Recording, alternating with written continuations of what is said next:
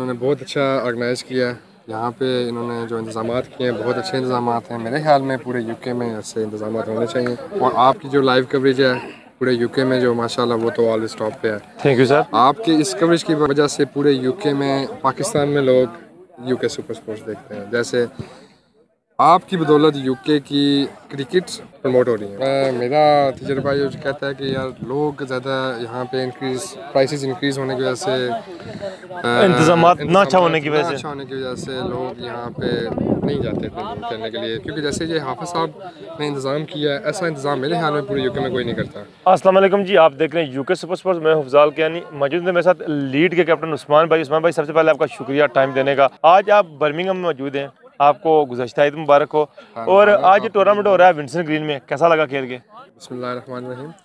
لال بھائی ماشاء اللہ آپ سے تو پہلے مل کے مجھے خوشی ہوئی after one year thank you sir تو انہوں نے بہت اچھا آرگنائز کیا۔ ہے یہاں پہ انہوں نے جو انتظامات کیے ہیں بہت اچھے انتظامات ہیں۔ میرے خیال میں پورے یو کے میں ایسے انتظامات ہونے چاہیے۔ اور ہماری ٹیم کے ساتھ چلیں آج بیڈ لک تھی۔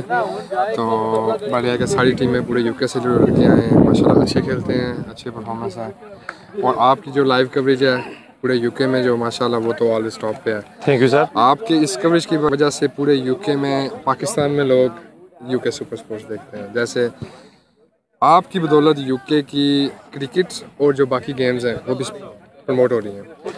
تھینک یو بھائی لاسٹ کوشچن عثمان بھائی کیا وجہ بنی جس طرح پہلے یو کے میں ٹورنامنٹ ہوتے تھے بیس بیس ٹیمیں اٹھارہ اٹھارہ ٹیمیں چوبیس چوبیس ٹیمیں اکٹھی ہوتی تھی ابھی کیا وجہ کم ٹیمیں آتی ہیں میرے خیال میں افضال بھائی جو میرا تجربہ یہ کہتا ہے کہ یار لوگ زیادہ یہاں پہ انکریز پرائسز انکریز ہونے کی وجہ سے انتظامات نہ اچھا ہونے کی وجہ سے۔ اچھا ہونے کی وجہ سے لوگ یہاں پہ نہیں جاتے تھے کھیلنے کے لیے۔ کیونکہ جیسے یہ حافظ صاحب نے انتظام کیا ایسا انتظام میرے خیال میں پورے یو کے میں کوئی نہیں کرتا۔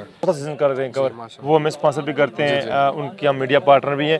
تو میں کہتا ہوں کہ اگر ہر کوئی اس طرح کے انتظامات کرے ٹھیک ہے میڈیا کو اچھی طریقے سے یوٹیلائز ٹورنامنٹ میں لے کے آئے کیونکہ میڈیا کی وجہ سے اسپانسر بھی آپ کو ملتے ہیں۔ میڈیا کی وجہ سے آپ کو اسپانسر ملتے ہیں اور اوبیسلی پوری دنیا میں یا پاکستان میں لوگ یو کے میں لوگ آپ کو میڈیا پہ دیکھتے ہیں۔ اگر میڈیا پہ آپ کا اچھا آپ میڈیا کے ساتھ کانٹیکٹ ہے آپ کا میرے خیال میں اگر اسپانسر لینا کوئی مشکل نہیں ہے۔ مشکل نہیں ہوتا جی عثمان بھائی تھے انہوں نے بڑے اچھے طریقے سے بتایا کہ یو کے میں ٹے بال کم ہونے کی وجوہات نے بچائی۔